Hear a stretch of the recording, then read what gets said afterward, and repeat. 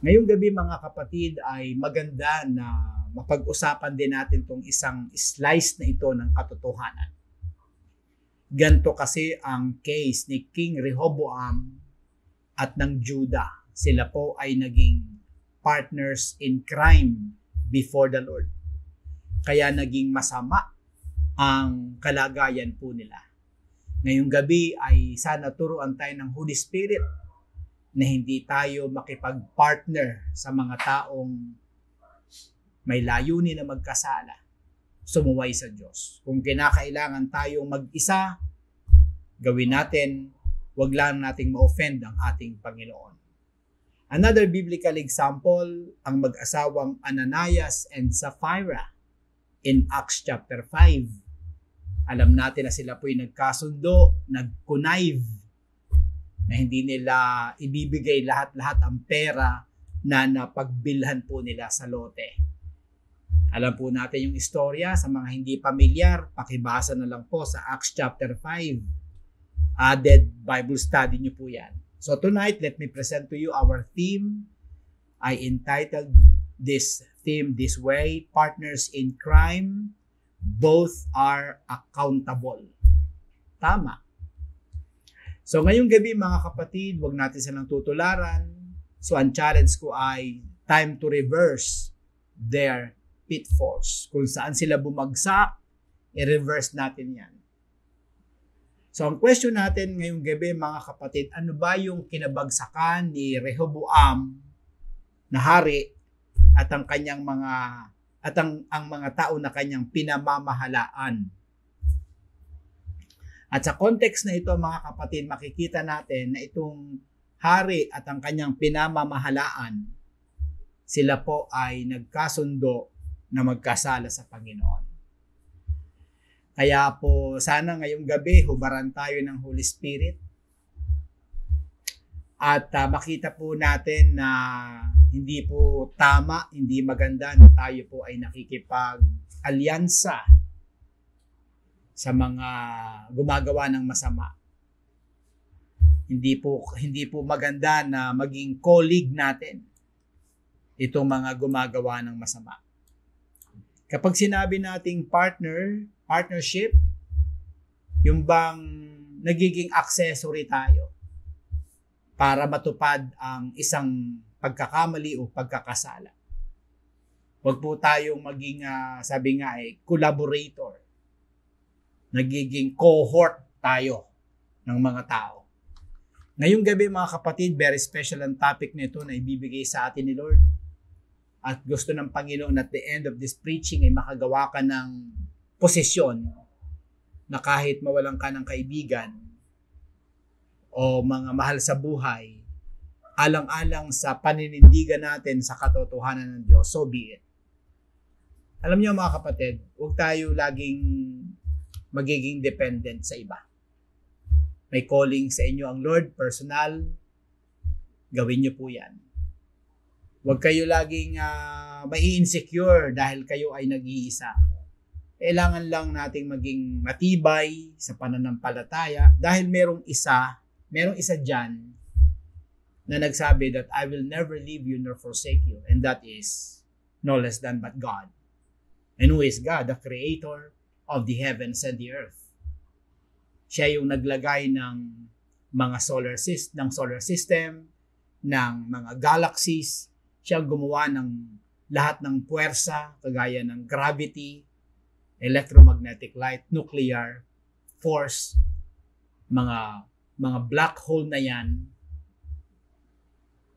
yung mga galaxies na iba-iba ang hugis, may spiral, may pabilog, may pahaba, mga kapatiran, He is the one, He is the person who told me, who told you,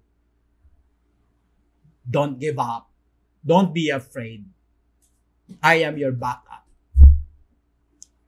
Alam nyo, namamangha po ako sa mga taong kayang mag-isa. Alam nyo, napansin ko po si Elon Musk, wala po siyang partner. Pero matindi po ang kanyang efficiency.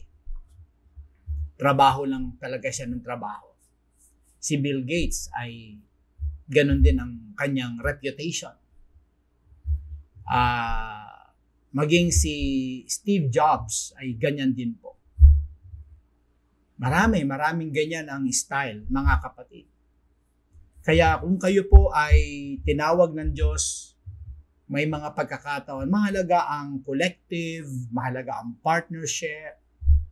Pero kung ang pakikipag-partner mo sa tao ang mag-lead para magkasundo kayong gumawa kayo ng masama, that's bad. Time to stand alone and serve the Lord your God. Maraming pagkakataon na ganito ang nangyari sa buhay ng Pastor Jim. Pero hindi ako nawawala ng pag-asa kahit na sino pang mawala. Mga trials lang yon sa akin. And then nakikita naman natin kung paano pinopromote ni Lord ang ating ministry, paano pinapatatag ng Diyos ang ating mga pinaghihirapan. Talagang pinapakita ni Lord na people will abandon you, but no, not me. I am committed to you guys, sabi ng ating Panginoon. So, ang unang-una mga kapatid na pitfall ni Rehoboam at ng tribe of Judah, ito po, after they were blessed, they abandoned the Lord. So mga kapatid, lagi kong binabanggit yung they, silang dalawa. After they were blessed, they abandoned the Lord. Kasi ang ini-emphasize ko tonight sa another slice ng pagtuturo na ito, masinsin na pag-aaral natin, ay ibang rekado naman ito, ibang menu. Yun pong uh, partnership, okay, yung uh, pagiging crony nitong si King Rehoboam at ng tribe of Judah, nagkasundo sila na i-abandon nila si Lord. Yan po ay makikita sa ating cross-reference, 2 Chronicles chapter 12. Sabi rito, after Rehoboam Rehoboam's position as king was established, tumibay na.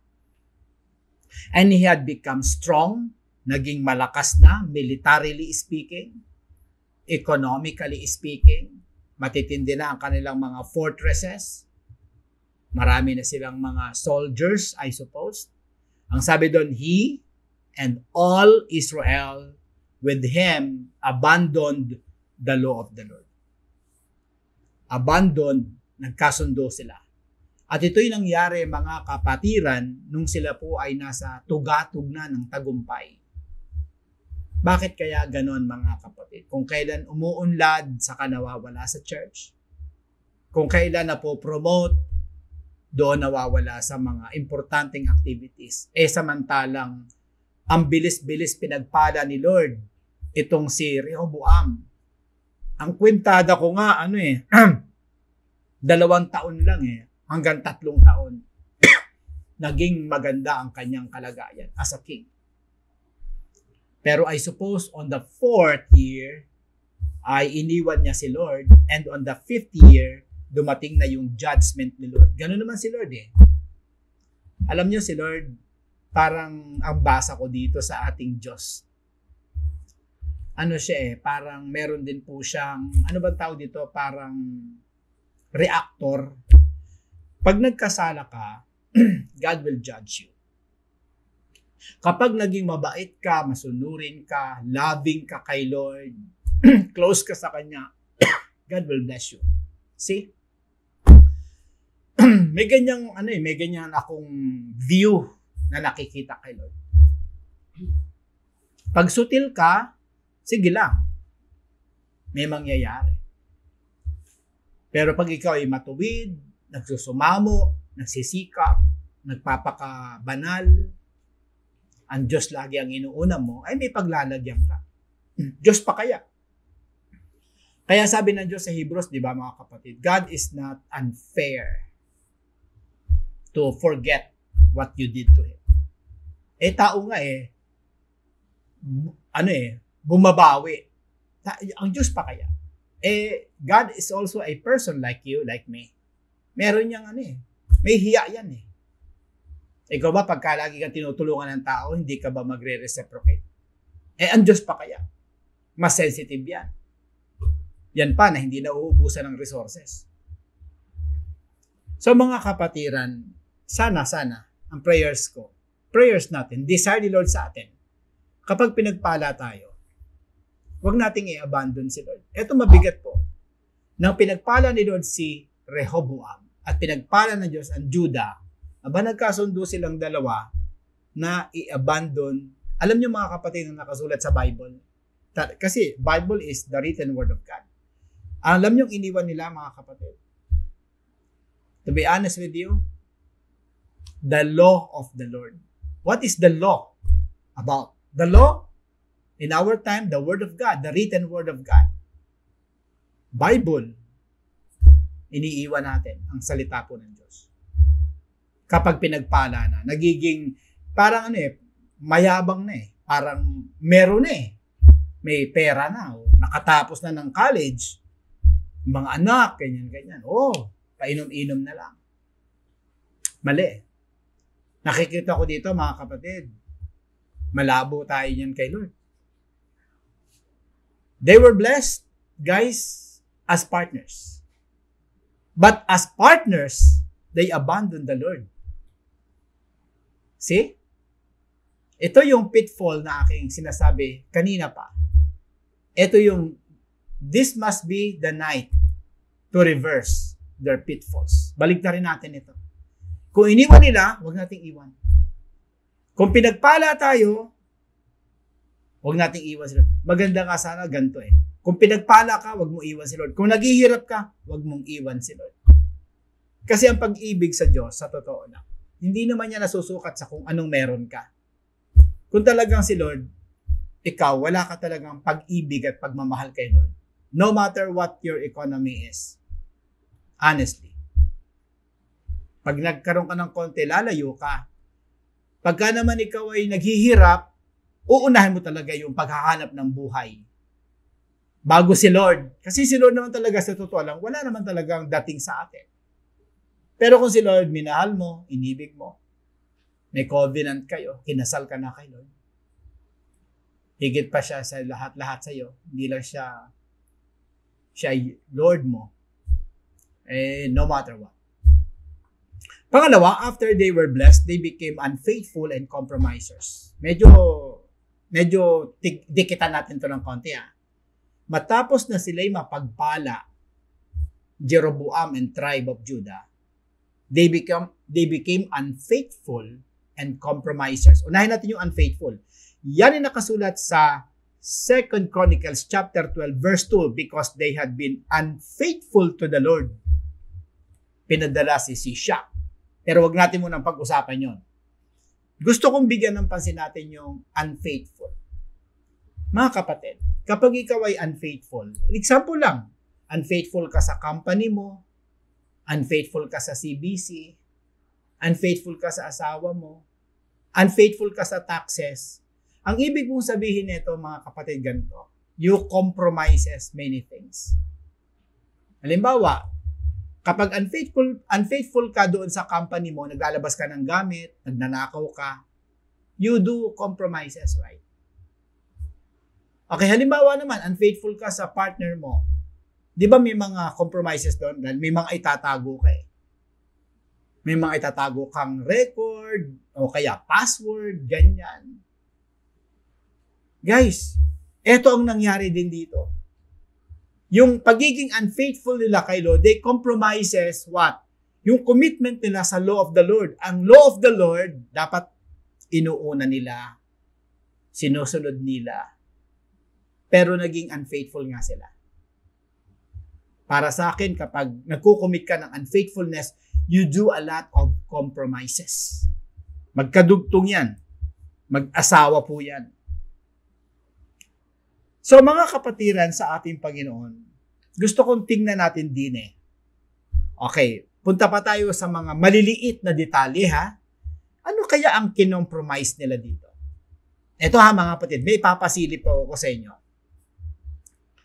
Ang gusto kong tingnan nyo mga kapatid, nakita ni, eto ha, ito yung compromises, nakita ni Rehoboam na yung mga tao, meron ng mga Asherah poles, meron ng sacred stones, may mga may mga shrines, male shrine prostitutes. Anong ginawa ng hari? Wala. Wala siyang ginawa. Ibig sabihin, nag-compromise siya. Pinayagan niya eh. Okay. Kung ang nag-lead naman ay si King Rehoboam, ano naman ang ginawa ng Judah, ng mga tao? Wala din. Tumahimik lang. Silence means okay. Walang nagsalita, walang nag walang walang nangaral. Sila lahat ay naging compromisers. Alam niyo mapatid ko sa ako nagmula. I-remind ko lang kayo dun sa 2 Chronicles chapter 11 verses 14 to 15. Ito yung time na dun sa kabila naman sa Northern Kingdom, remember during the time nang si Jeroboam ay nagkasala, naging wicked talaga, nagpagawa din ng the same ng mga kasalanan, pagsamba sa Diyos Diyosa, nagpagawa ng mga div, mga shrines, altars, mga mga paggawa ng mga Asherah poles, may mga Baals, kung ano-ano. Anong ginawa, mga kapatid? Sa lugar na yan ni Jeroboam, may ilang Levites at mga prophets na humiwalay at pumunta sa Judah.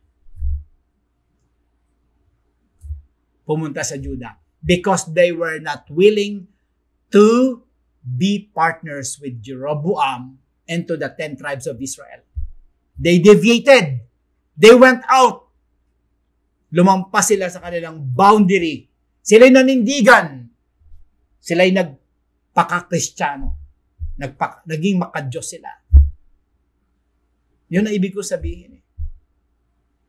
Alam niyo mga kapatid, yung mga Levites na yun at mga priest na yun, hinahanap ko yun, lumipat yun kay Judah. Pero dito, sa panahong ito ni Judah, walang nag-deviate. Wala akong record na makita na may ilan na nagdeviate na naman sa kasamaan ni Rehoboam at ng buong bansa ng Juda.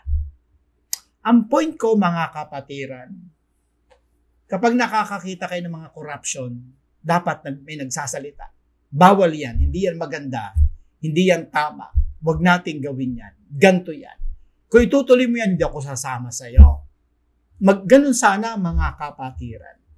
Kumbaga fellowship tayo sa liwanag, pero sa darkness, I want be a partner of you. Tutularan ko yung mga Levites and priests doon sa panahon na Jeroboam na inari nilang ma-persecute sila at ipapatay at ipahanap ni Jeroboam alang-alang sa kanilang uncompromising spirit. Guys, napakahalaga nito. That is sad. Napakalungkot yun. Nakakalungkot itong nangyari kay Rehoboam, mga kapatid, at sa bansang Judah na inaasahan sana ni Lord na magiging matibay at magiging matatag sila. Pero walang nangyari. Para sa akin, napakalungkot dahil alam nyo kung bakit ko sinasabing napakalungkot? Yung ika-anim na taon ni Rehoboam hanggang doon sa on hanggang sa kanyang 17th year ng kanyang pagiging hari. Ang aking ba, ang aking basa dito ganto. Naging malungkot ang kanyang buhay. 'Di ba? First, second, third pinagpala. On the fourth, they abandoned the Lord. On the fifth, pinadala na si Shishak. On the sixth year, until 17th year, I suppose, ipinapalagay ko na hindi na naging masaya, maligaya ang remaining years ng kingdom ni Rehoboam at ng Judah. Pastor Jim, sa mo nakita yan? 1 Kings chapter 14 verse 30, ang sabi po doon, there was continual warfare between Rehoboam and Jeroboam. Tapos doon pagdating sa 31, and then Rehoboam rested with his ancestors. Namatay na siya. So ang aking pong basa mula sa ika-anim na taon hanggang ika-17th na taon ay years of troubles, years of anxiety, years of war, Yun ang sabi ng Bible. At naniniwala ako diyan dahil salita po yan ng Diyos. There was continual warfare. Kaya nga ang tanong ko sa inyo mga kapatid, kapag hindi mo ni-reverse ang pitfall na to, guys, let me tell you this, you will never enjoy the remaining years of your life. Ang problema pa dyan, kapag si Lord na ang nagsalita, there is no rewind. You cannot reverse it anymore. Kagaya ng nangyari dito. Na-reverse pa ba? Ang suspecha ko dyan, on the 6 hanggang the 17, ayon din sa talatang binasa ko, there was a continual warfare between Rehoboam and Jeroboam, and Rehoboam rested, sabi ng 31 at siya inilibing. So, guys, ang ganda po sanang ang gagawin natin ay ganito. Let us reverse their pitfalls so that we could keep the remaining years of our life happy and joyful. Kaya pala, may mga taong nakita ako, even Christians malulungkot. Ang suspecha ko, baka may ginawa ito dati. Iyan po, maliwanag po yan. May mga kritiko sa church, may mga church, may mga church members, church goers na hindi mo kinakitaan ng talagang paglago, pagunlad, pagkakagamit ni Lord, hindi nagiging mabunga whatsoever. I suspect something is wrong sa kanilang nakaraan. At baka si Lord ay merong sinabi sa specific na tao na to na meron kang ginawa sa akin. You were partners in crime doon sa isang tao and both of you are accountable. Ngayong gabi mga kapatid, magandang magsaliksik din po tayo. Baka meron tayong naging kakunayv na nagka, nagkaintindihan kayo na kayo ay gagawa ng hindi maganda. Pag-isipan po natin yon. At ako'y naniniwala ang Holy Spirit ang magbibigay sa atin ng mga enlightenment para maayos natin yung issue na yon before God. Guys, punta tayo sa aking summary. In this passage, we have learned that partners in crime will be both be will both be judged by God. Yan po nakikita ko dito. Pareho po silang hinatulan. Asan yung hatol, Pastor Jim? Eh, di nung ipinadala ni Lord si Shishak, King of Egypt. At sila po ay pinulbos. Pinulbusan sila ng blessing. Ninakaw ni Shishak ang lahat ng ginto. In fact, sabi nga ng Bible, Shishak took everything. Walang itinara. Naging mahirap pa sila sa daga. Ayun. Ipinagmamalaki nyo, stable na kayo, stronger na kayo. Kaya kayo mga kapatid, tayong natin, me included, Kapag tayo pinagpapala ni Lord, huwag magmamalaki. Kasi pwede magpadala si Lord ng modern shishak para maging mahirap pa tayo sa daga. Huwag na huwag tayo magmamalaki. Ang iba sa atin, kapag nagkakaroon, nakakapagmalaki na. Nako, sa totoo lang, lahat ng meron tayo galing sa Panginoon. Walang walang meron tayo na hindi galing sa Diyos. Anything at kaya ng Diyos na dalhin tayo sa pagkapulubi. Kayang-kaya ng Diyos. Isang modern shishak lang. Pulbos po tayo. What are my propositions? Number one, time to partner with God. We're talking about partnership. Ito, hindi ka magkakamali. Ito talaga ang tamang kapartner sa buhay. Itong Diyos na gumawa ng langit at ng lupa gumawa ng 2 trillion galaxies. Masarap na kapartner. Tapat yan. Banal. May isang salita. May ari ng lahat ng bagay. Kaya niyang i-conspire ang lahat-lahat para ibigay sa iyong pagpapala na para sa iyo. Kahit saan ka magpunta, kahit magtago ka pa sa baol, darating at darating sa iyo, Diyos blessings will follow you all the days of your life. Sabi ng Bible, Psalms 23. Gawin mo siyang Panginoon. The Lord is my shepherd. Yung personal pronoun na yun. Not, the Lord is my shepherd. Gawin mo siyang Panginoon. Hindi ka na mangangailangan pa. Sa totoo lang, kapag ginawa mo na siyang hari, Panginoon ng buhay ko, wala ka nang kakailanganin pa. Everything will be secondary. Spouse, secondary. Business, secondary.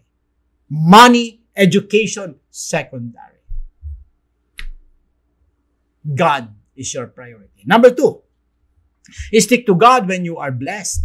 Stick to God when you are in suffering. Ganda po nito. Sana ganto tayo. Ang ating paglilingkod kay Lord ay talagang do or die tayo. Alam niyo sa totoo lang, mas masarap po ang naghihirap. Masarap yung tama lang, hindi talaga yung ay, parang ayoko nang maya, maging mayaman. Ako personally po, mga kapatid. Pero siguro hindi talaga ako yaman kasi pag meron, bigay eh. Talagang more on investing for future reasons, future purposes. Hindi, ah, hindi ako personally, si, I'm sure hindi ako yayaman. Kasi umiikot ang pera sa akin. Ngayon mga kapatiran, when you are blessed financially, educationally, economically speaking. Stick to God. When you are in suffering, stick to God. Actually, mas madulas po ang buhay kapag meron ka. Kasi pag meron ka, tingnan niyo po yung mga mayaman, pag may sakit, doktor agad.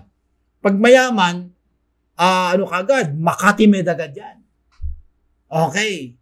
Talagang ano agad yan. Wala nang tanong-tanong yan. Hindi na nagpe-pray na Lord, tama bang daling ko to sa ospital? Ganyan.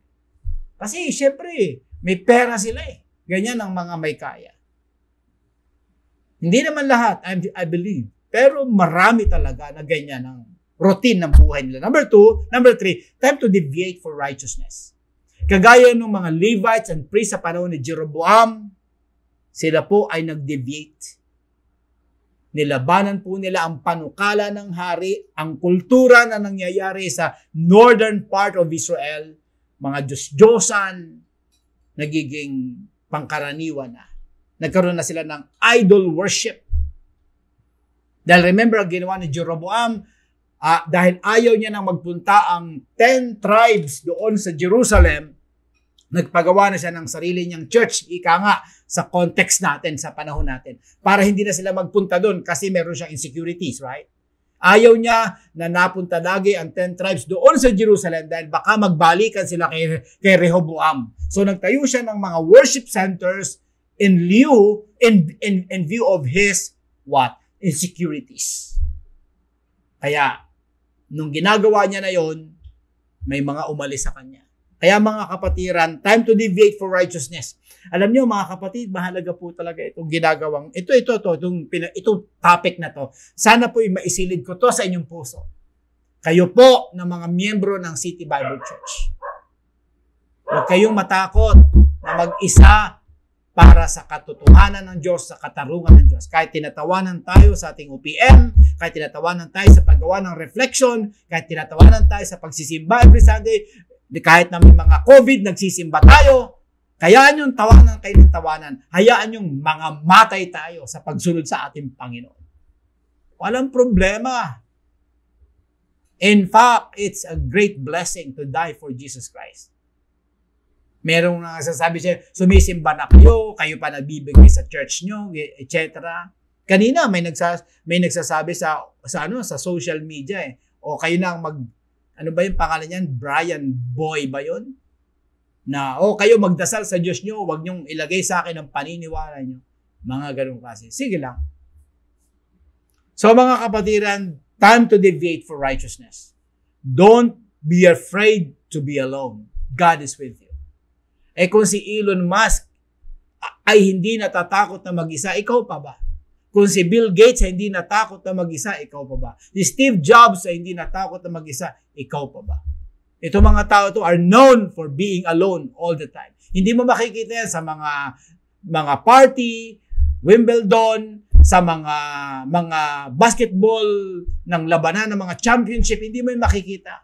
Hindi nga yan, hindi nga dumadalo yan sa mga sa mga ano sa mga tournaments. They they they, these people, they can live without yung mga limelight, spotlights. No, they, they, they are workers, mga kapatiran. Mga nagtatrabaho yan. Grabe kasi ang mga tao niyan. Ang taas ng kanilang work ethics. So guys, napakahalaga po nito. Time, time to deviate for the sake of righteousness. Kung nanay mo ayaw magsimba, iwanan mo siya. Kung may mga kapatiran na ayaw ng tumulong sa church, iwanan natin sila. Kinakailangan kasi magkaroon tayo ng inward motivation. Kasi pag inward ang motivation, ibang usapan yan. Hindi mo mapipigilan yan. Ako naiingit dun sa mga komunistang mga estudyante ng UP, iiwanan ng nanay, ang tatay, mamumundok. Eh, sa mga Kristiyano, hindi yan kaya. Hindi nga kaya maglakad eh. Gusto lagi naka-aircon. Gusto lagi may merienda, may kape. Pero pagka nagkaka ano na, wala na, nawawala na. Ako believe talaga ako sa mga ano sa kan, sa malalalim na motivation ng mga komunista dito sa mga kabataan na nagrarally. Isipin niyo mga kapatid ha, uuwi yan ng bahay nila dahil nakapag-attend ng mga rally. Ayan na po, sasagot-sagot yan sa mga nanay. Isang araw, nag, nagbabalot-balot na yan. Mawawala ng 5 months. Babae ha, 18, 19 mga kapatiran. Kaya nilang mawala sa siyudad at titira sila doon sa mga bundok para sa kanilang panbagong paniniwala na brainwash na po sila. Tayo ba na brainwash na ba tayo ni Lord? Baka hindi pa. Number four, serve God today faithfully for you to have a better tomorrow. Yan, ngayong gabi ha mga kapatid. Start today.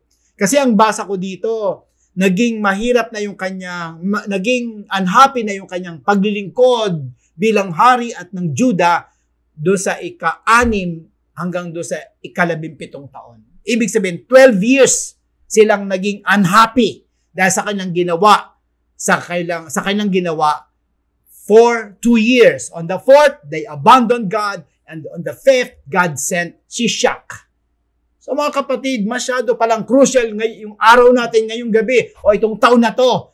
How are you today? How are you this year? Nagbubunga ka ba? Ga- nasa gawain ka ba? Ikaw ba ay talagang motivated for God? Meron ka bang inner, inner motivation to serve the Lord? O baka naman nayayakag ka lang? Kasi pag nayayakag ka, ano yan? Yan po ay outward motivation. Paano kung wala na magyakag sa'yo? Kaya alam nyo mga kapatid, sa panahon ng kadiliman, may problema. Diyan mo makikita yung mga malalalim. Yung mga ipa, nawawala po yan sa church. Normal yan mga kapatid. Ipa, nawawala talaga yan. Siyempre, ipa nga eh. Ang ipa kasi, pag may hangin, nawawala talaga po yan. Wala tayong magagawa po dyan sa mga ipa. Kahit anong paliwanag mo dyan, mawawala po yan. Pwede mong makip yan temporarily, pero kapag may shaking inside the church, they will normally go. Hanap ng ibang lugar yan because they want they want comfort zone. They want comfort. They want they serve themselves, not not God. Be happy, guys. Be happy in the remaining years of your life. But the secret is start tonight. Start well. Yan po, magsimula ka ng tama. Number five, pag others along with you. So sa ginagawa mo ngayon, get someone, recruit someone to be with you. Let me use the word brainwash that guy and make him a pupil of the Lord Jesus Christ. Lord, salamat po sa gabing ito, sa inyong habag at biyaya. Salamat po sa mga turo. Salamat po sa mga pagpapatatag po ng aming pananampalataya. Sa ginagawa namin ito, alam namin na kami tumitibay at lumalakas spiritually. Hayaan nyo kami, Panginoon, na kuminsan ay maging soloista alang-alang sa righteousness. Starting tonight, Lord God, we will, if i-filter namin ang aming magiging associate, ang aming magiging body, ang aming magiging crony, ang aming magiging helper, assistant, cohort. Panginoon. Tulungan mo kami, Panginoon, na huwag madamay sa kanilang mga kasalanan. Salamat po, Panginoon. Give us, Lord, the insight. Patawad po kung in case, Lord, nagkaroon kami ng mga masasamang fellowship in the past. Dahil sabi nyo nga, walang fellowship ang kadiliman sa kaliwanagan. Walang fellowship ang Diyos-Diyosan ni Baal sa tunay na Diyos, Panginoon. Patawad, Lord God, in case we offended you in many ways. Salamat po sa warnings nyo sa pamagitan ng Bible study nito, Panginoon. Salamat po. Patawad po. In Jesus' name we pray. Amen at Amen. Salamat sa ating Panginoon. Okay po. So, bago po tayo maghiwa-hiwalay, ay uh, babasahin po natin yung last round ng ating po mga greeters. Okay po. Uh, sabi ni Marivic Villar, PB Rose Balay, salamat sa pagpamati sa mensahe karong gabi. Opo, God bless, ano, P, PB, God bless, ha? Itong narinig mo tonight, ay sayang, sayang talaga kung hindi mo to narinig. Uh, na-miss mo ang kalahati ng iyong buhay. Yan po ay idiomatic expression natin lang na masyadong mahalaga. Magandang gabi kay Prosy Hernandez. Ganda ng kanyang emoticon, no, liabe. May inaayos yata si Lord sa kanyang buhay. Uh, magandang gabi, Christine Eljoy, Bulambaw, Aidan Choi, Pastor Steve Vergara, JR Babacho, magandang gabi, Jane Avestrus, uh, Renz Fernandez, Lance Valdez, Gestoni Nuke, magandang gabi sa ating lahat. Emily Carmelina, Shalom. Shalom C. Naglagay siya ng heart, magandang gabi. Zamsi, ba? Si Sam. Kasama rin natin si Sam, ang anak po ni Brother Vic C. Celia Lumoljo, Beth Panganiban, uh, Irene Paulino, Ivy Amon, magandang gabi po, Marie Chris Vegan, Annabel Madrid, Dennis Carmelina, Giselle Ocon, ayan po, uh, may humahabol pa yata dito. Magandang gabi sa inyong lahat. Rebecca Lim, ang aming masipag na usher. Uh, ah, JL Nemer. Bago po ito, magandang gabi JL. Sabi niya, maraming salamat po, Pastor. God bless po. Salamat din po na kayo ay naging sisidla ni Lord ngayon ng kanyang salita. JL Nemer, sabi niya, thank you po Lord. Ako, mukhang pinagpala ni Lord si JL ngayong gabi. Brother Jun Berse, sabi niya, Amen and Amen. Hindi na kontento sa isang Amen. Mukhang malalim din ang dating sa kanya ng Word of God tonight. Manisunga, JB Panganiban, sabi niya, Amen. The last but not the least, Jocelyn Aquino. Amen po. Praise and thank God. Thanks po, Pastor Jim and family. God bless po. Okay po, hanggang dito na lang po tayo. It's 8.59 in the evening. Salamat po sa ating Panginoon. Huwag kalilimutan, dalawang tao na mamatay, dalawa hanggang tatlo actually ang namamatay kada segundo. Kaya po, bumalik sa Panginoon. Huwag kalilimutan, September 17, sana'y magkita-kita tayo sa ating uh, baptism. Yung mga magpapabaptize, please contact Earl Anyunwevo and si Kuya Harry, Kuya Elder Harry Singson para mabigyan kayo ng online orientation. Para pagdating doon, baptism na lang. Water baptism na lang. Amen po. So mga kapatid, by the way, baka may gustong tumulong sa ating gawain, let me know. At uh, wag lang po tayong tumanggap, matuto tayong magbigay, matuto tayong mag-reciprocate. Ang totoo niyan, hindi natin kayang bayaran si Lord, mga kapatiran. Pero hindi naman natin dapat siya bayaran. Pero as a mature Christian, importante po na tayo ay nagpapahatid ng tulong sa mga gatong gawain. E sinong tutulong sa atin? Komunista? Wala tayong maasahan. So, mga kapatid, bahala na po kayo. Ang Holy Spirit na ang maglilid sa inyong lahat. Good night, mga kapatid. Huwag kalilimutan. Ano po? Bukas uli ng gabi. Maranatha and Shalom.